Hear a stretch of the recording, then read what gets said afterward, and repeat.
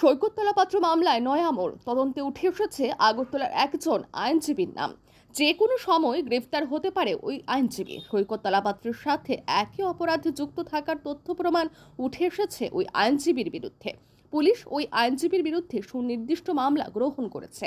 সুনির্দিষ্ট মামলা হতে ওই আইনজীবী জেলা ও দায়রা আদালতে আগাম জামিনের আবেদন জানিয়েছেন সোমবার। এই আবেদন আদালতে শুনানি হবে আগামী আঠারোই অক্টোবর।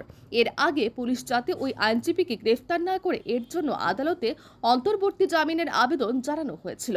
কিন্তু আদালত এ ব্যাপারে কোনো নির্দেশিকা দেয়নি। ফলে আগাম জামিনের আবেদন শুনানির আগে যে কোনো সময় গ্রেফতার হতে পারেন ওই আইনজীবী। এ বিষয়ে বিস্তারিত জানিয়েছেন স্পেশাল পিপি সম্রাট কর ভৌমিক। তিনি আরও বলেন এদিকে সৈকততলা পাত্র মামলায় পুলিশ কলকাতা স্থিত তার অফিস থেকে laptop, mobile, computer, desktop, hard disk সহ যাবতীয় ইলেকট্রনিক্স গ্যাজেট বাজেয়াপ্ত করেছে। আদালতের নির্দেশে সেগুলি এখন ফরেন্সিক পরীক্ষার জন্য পাঠানো হয়েছে। অন্যদিকে সাত দিনের পুলিশ রিমান্ড শেষে অভিযুক্ত সৈকততলা পাত্রকে সোমবার ফের আদালতে তোলা হয়। সেই সাথে পুলিশ বেশ কিছু তথ্য আদালতে জমা দিয়েছে। পুলিশের আবেদন মূলে জেলা দায়রা জজ সৈকততলা পাত্রকে আগামী সাতাশ অক্টোবর পর্যন্ত জেল হাজতে রাখার নির্দেশ দিয়েছে। একই সাথে আরও দুটি মামলায় একটি পশ্চিম আগরতলা থানা, অপরটি পশ্চিম মহিলা থানা এই দুটি মামলায় সৈকততলা পাত্রকে সিজেএম কোর্টে তোলা হয়। আদালত মহিলা থানার মামলায় অভিযুক্তকে পাঁচ দিনে পুলিশ রিমান্ড দিয়েছে এবং পশ্চিম আগরতলা থানার মামলায় তাকে সাতাশ অক্টোবর পর্যন্ত জেল হাজতে রাখার নির্দেশ দিয়েছে।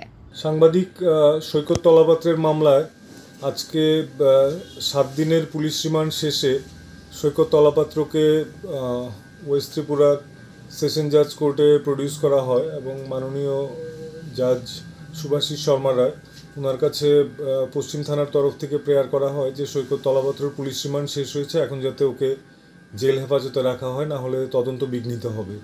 এবং সেই মোতাবেক মাননীয় আদালত প্রেয়ারটা অ্যালাউ করেছেন। এবং একশো পঁচাশি নম্বর মামলায় সৈকত তলাপাত্রকে চোদ্দ দিনের জন্যে সাতাশ তারিখ পর্যন্ত, সাতাশ দশ দু হাজার তেইশ পর্যন্ত ওকে জেল হাজতে পাঠিয়েছেন। আর ক্রাইম ব্রাঞ্চের তরফ থেকে আরেকটা মামলা হয়েছিল, সেটা হচ্ছে দু হাজার একুশের একশো পনেরো নম্বর মামলা, ওয়েস্ট আগরতলা। সেই মামলাতেও চাওয়া হয়েছিল সৈকত তলাপাত্রকে যাতে জেল হাজতে পাঠানো হয়, কারণ ক্রাইম ব্রাঞ্চ আপাতত ওকে জিজ্ঞাসাবাদ জেলেই করতে চেয়েছে। এবং এই মামলাটা করা হয়েছে chief judicial magistrate Shri Saikat Das সোনার কোর্টে এবং প্রসিকিউশনের তরফ থেকে, আমাদের তরফ থেকে শুনে মাননীয় চিফ জুডিশিয়াল ম্যাজিস্ট্রেট সাতাশ তারিখ পর্যন্ত ওকে জেল হাজতে রাখার নির্দেশ দিয়েছেন। এছাড়া আরেকটা মামলা ওয়েস্ট আগরতলা উইমেন্স পিএস পঞ্চাশ দু তেইশ। সেই মামলাতে specific information already police collect করে ফেলেছে। সৈকত তলাপাত্র কীভাবে বিভিন্ন লোককে নামে স্ক্যান্ডালাস নিউজ করলে ইয়েলো জার্নালিজম করে, তারপর টাকা আদায় করতো। তো সেই মানি ট্রেলটা পুরোটা পাওয়া গেছে। তো সেই কেসে তদন্তের স্বার্থে পুলিশের তরফ থেকে ওকে চোদ্দ দিনের হেফাজত চাওয়া হয়েছিল। তো মাননীয় চিফ জুডিশিয়াল ম্যাজিস্ট্রেট উনি পাঁচ দিনের পুলিশ রিমান্ড অ্যালাউ করেছেন। তো আপাতত কুড়ি তারিখ পর্যন্ত সৈকত তলাপাত্রকে পুলিশ হেফাজতে থাকতে হবে। এবং কুড়ি দিন পর সাতাশ তারিখ পর্যন্ত ওনাকে জেল হেফাজতে থাকতে হবে। এছাড়া পূজা রায় নামে আরেকজন মহিলা, উনি একটা এফআইআর করেছেন। আনফর্চুনেটলি সেই এফআইআরের মধ্যে একজন আইনজীবীর নামও জড়িয়ে গেছে। সৈকত তলাপাত্রর সঙ্গে এক্সটর্শন রিলেটেড বিজনেসে জড়িত ছিলেন। তো ওনার নাম হচ্ছে অ্যাডভোকেট রঘুনাথ মুখার্জি। তো, এই রঘুনাথ মুখার্জি আর সৈকত তলাপাত্র দুজনের এগেনস্টেই স্পেসিফিক এফআইআর হয়েছে। আর শ্রী রঘুনাথ মুখার্জি আজকে ষোলো দশ দু হাজার তেইশে আজকে সে সেশনস কোর্টে, ওয়েস্ট ত্রিপুরার সেশনস কোর্টে সে এন্টিসিপেটারি বেইলের প্রেয়ার করেছে। এবং উনি এই প্রেয়ার করার পর এন্টিসিপেটারি বেইলের হিয়ারিংয়ের জন্য ডেট রাখা হয়েছে পরশু দিন মানে আঠারো তারিখ, আঠারো দশ দু হাজার তেইশ।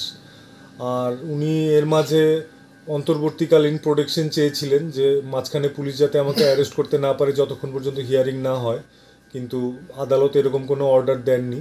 তো রঘুনাথ মুখার্জি আর সৈকত তলাপাত্র দুজনের নামেই এই ফিফটি ওয়ান যেই মামলাটা, সেটা চলছে।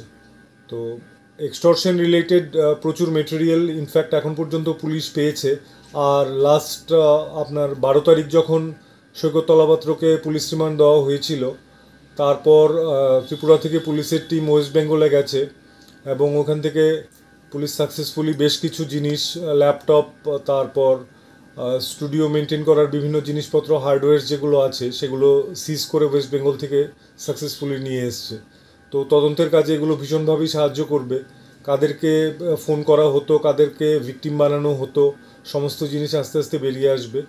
তো আজকে পর্যন্ত এই হচ্ছে আপডেট আর নেক্সট এই মামলার পুলিশ কাস্টডি শেষ হবে কুড়ি তারিখ, আর জেল কাস্টডি শেষ হবে সাতাইশ দশ দু হাজার তেইশে। তারপর আবার মামলাগুলো কুড়ি এবং সাতাইশ তারিখ উঠবে।